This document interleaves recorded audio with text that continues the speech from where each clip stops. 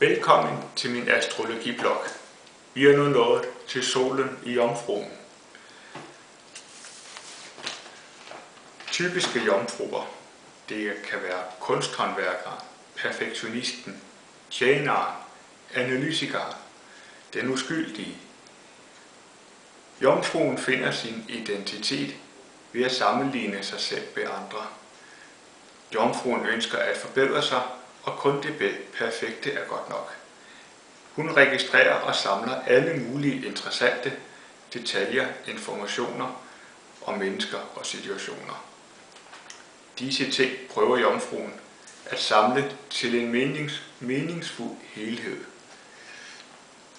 De kan være en dygtig pro- problemknuser, fordi de har en nøgtern og praktisk livsanskuelse. Hun er opmærksom på tingenes nytteværdi, men også på hans egen og andres nytteværdi. Hun ønsker at være til gavn for andre og tjene andre mennesker. Derfor finder man hos jomfruen en ydmyghed og en slags minimalisme, som man ikke finder hos andre, hos andre tegn.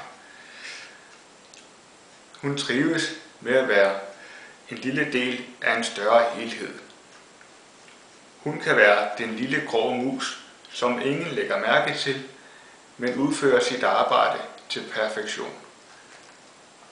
Jomfruen spilder ikke sin tid og sine ressourcer, og de har en, en tendens til at være en kontrolfreak. Der er ofte et uskyldsrent præg over jomfruen, og de kan være bange for at slippe kontrollen og lade det mystiske og udefinerlige komme ind i deres liv.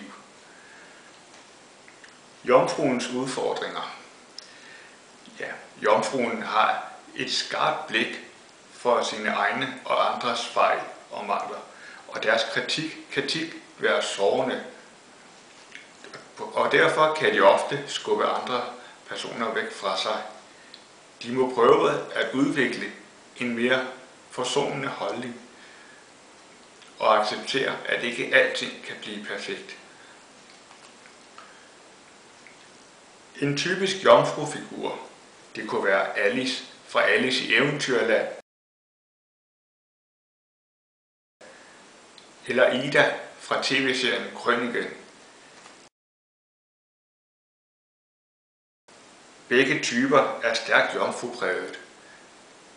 De er rene, nydelige, samvittighedsfulde, uskyldige og kritiske, og de er samtidig både praktiske og jordnære.